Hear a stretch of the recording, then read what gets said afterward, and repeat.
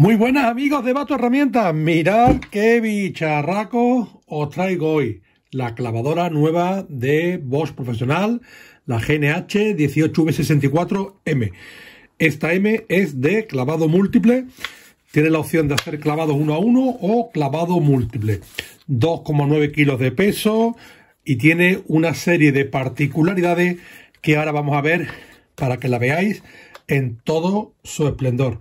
Es la primera reseña que se hace en castellano, por lo menos yo no he encontrado ninguna en YouTube. Así que nada, para que quien la vaya a adquirir o ya la tenga, pues pueda ver todos los entresijos, todas las cosillas chulas que trae este modelo. Pasamos a ello. Venga, quedarse. Vamos. A ver, detalles técnicos de la herramienta. Podemos poner clavos desde 30, que serían este de aquí, a 64, que sería este clavo de aquí. Funcionamos con baterías del grupo profesional, baterías profesionales y después también tenemos aquí esta ruleta que lo que nos va a facilitar es que una vez que metamos el clavo, ahora lo veremos, podamos profundizar más o menos para dejarlo más rasante o embutido. Sería esto de aquí. Los clavos son de 1,6 milímetros con cabeza, como estáis viendo aquí, 1,6 es el pin y es el modelo 16GA. ¿Vale? Con una inclinación de 20 grados para que entre perfectamente en el cargador que ahora veremos. Detalles que me han gustado de la herramienta. Pues por ejemplo, tiene esta gomita de aquí que viene muy muy bien para evitar dañar la madera a la hora de trabajar. No estaríamos dando con una parte metálica que hace falta para que las puntas salgan, ¿vale? Todas las manipulaciones siempre, por favor, con las máquinas sin batería. Esta gomita de aquí la colocamos de nuevo. Inclusive si esta gomita se nos pierde o se nos deteriora, hay una cosa muy curiosa que aquí en la parte trasera tenemos, como estáis viendo, una gomita de repuesto. ¿Vale? Ok. Más cosas que me han gustado mucho de la herramienta. Tenemos este gancho que es para poderlo colgar del cinturón a la hora de trabajar con ella. Tenemos también una forma muy sencilla de acceder al cabezal sin ningún tipo de herramienta. Simplemente tiramos de esta pieza hacia arriba, desbloqueamos aquí adelante y ya tendríamos acceso por si se nos atasca un clavo. La verdad que para poder solventar esos atranques sin ningún tipo de tornillo o de accesorio de herramienta adicional que nos haga falta. Después la herramienta también cuenta con un sistema en el cual si le ponemos, si la herramienta se queda sin, eh, sin clavo, no nos va a dejar hacer el impacto. Por mucho que apretemos, no va a salir el percutor para evitar que nos dañe la superficie en la cual estamos trabajando. Para cargar los, los clavos, simplemente accedemos por aquí, por la parte de atrás, los dejamos caer, como estáis viendo aquí, los desplazamos y ya tiramos de esta palometa para que esta pieza de aquí sea la que haga el empuje. Con lo cual ya estarían colocados.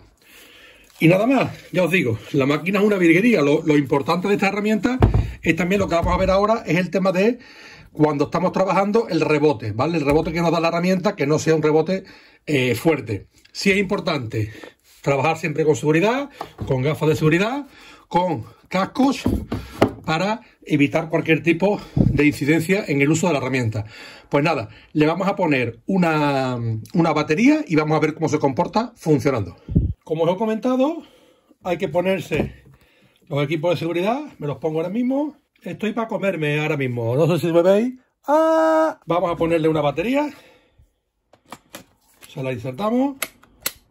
¿Ok?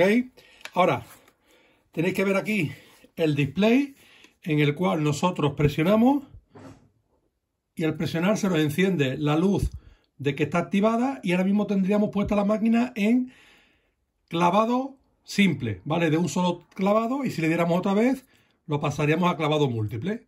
Vamos a empezar por la función de clavado simple, que es la única función que trae el modelo el GNH 18V-64. Este al ser el modelo M trae las dos en su display.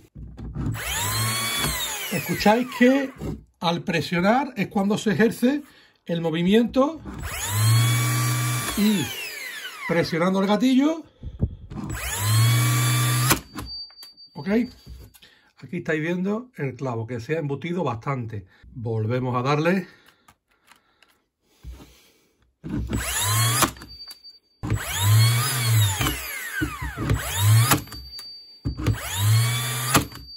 Estáis viendo que en esta modalidad tenemos que cargar, levantar. Este ya los ha embutido menos. Ya le hemos puesto para que haga menos. Empezamos muy profundo. Y ya veis que ya aquí lo hemos cuadrado la fuerza a este material de pino. Vamos a cambiarle el sistema y lo vamos a poner ahora en múltiple. ¿Vale? Ya lo ponemos en múltiple. Ahora ya en la función múltiple conseguimos mucho más rapidez a la hora de trabajar.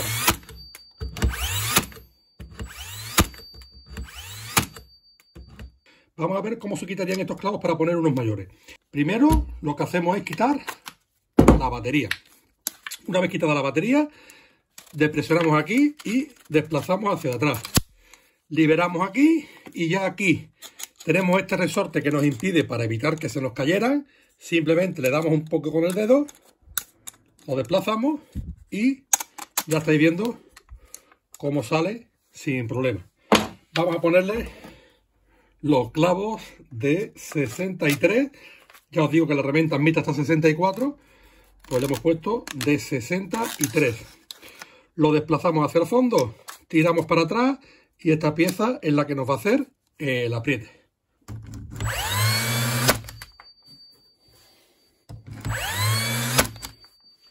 ¿Veis que deja un poco fuera? Vamos a ponerle un poco más.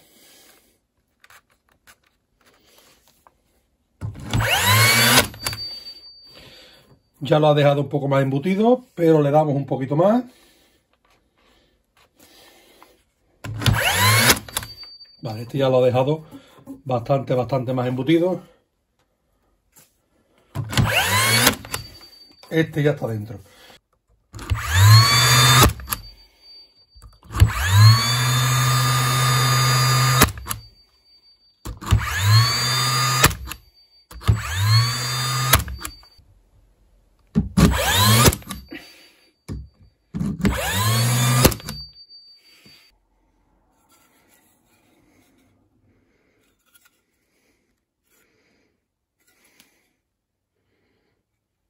Bueno amigos, aquí la tenéis. ¿Qué os ha parecido? Pues nada, yo creo que bastante, bastante interesante la herramienta.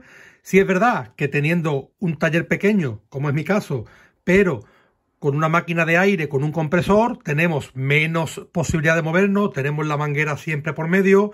Si tenemos que ir a exteriores, hay que cargar con la manguera, con la máquina de aire, con el compresor que hace ruido. Esto nos da unas posibilidades infinitas. Yo tengo un taller pequeño, ya sabéis que tengo todas las máquinas ya a batería y una vez que aunque sea un taller pequeño te acostumbras, no quieres ver ningún cable por medio.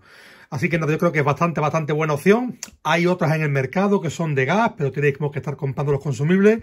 Aquí el consumible es la batería, con lo cual la vamos recargando y no tenemos ningún tipo de problema. Y yo creo que el trabajo lo hace con creces. Hablamos de unas puntas de 6,4, de 64 y aquí tenemos las de 3 centímetros que yo creo que también lo hacen una máquina muy, muy, muy interesante. Pues nada, seguidme en mis redes sociales, siempre como arroba tu me vais a encontrar en casi todas. Y la ventaja también es que ahí voy subiendo el día a día de los proyectos. Así que nada, dejadme vuestro comentario si os gusta, si no os gusta, si veis otra alternativa mejor. Y nos vamos leyendo. Venga amigos, un saludo para tu. ¡Vamos!